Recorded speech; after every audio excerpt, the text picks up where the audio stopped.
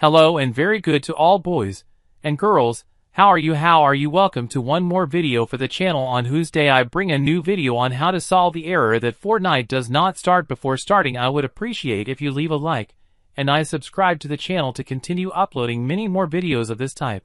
And with that said people, I won't bother anymore and let's go with the video. The first thing we have to do, at the top right click on our name and the settings.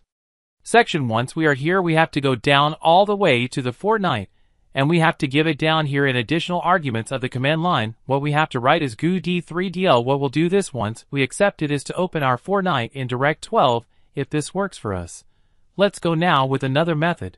Okay people, the next thing is that we have to go to our library and here, as you are seeing, right now I am updating the Fortnite, but you can do it. I am going to do it with this game.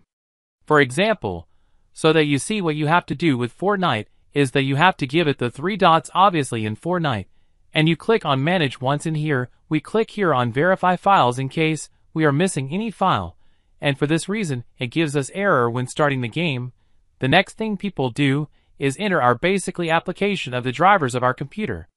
For example, if you use a GeForce Experience card, an NVIDIA card like mine, we obviously have to open the GeForce Experience program, and we have to update the drivers.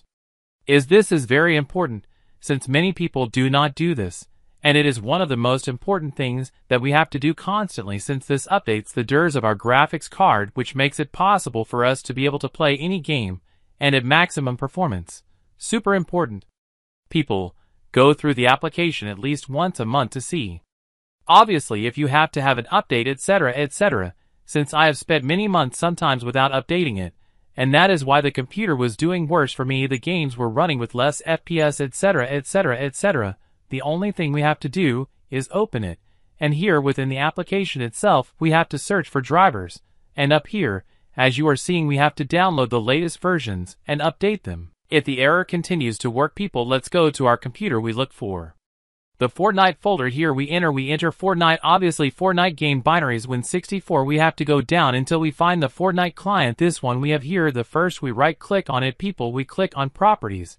And we have to go to the compatibility section. And you have to check the option to disable full screen optimizations. And lastly people we go up and go to the EasyAntiCheat folder. And we double click on this file that I'm seeing here. And we click on yes once it opens. And we have people to give here in repair service, so I hope you liked the video, I hope that some solution helps you. Don't forget to leave a like, subscribe, and see you next time. Greetings and goodbye.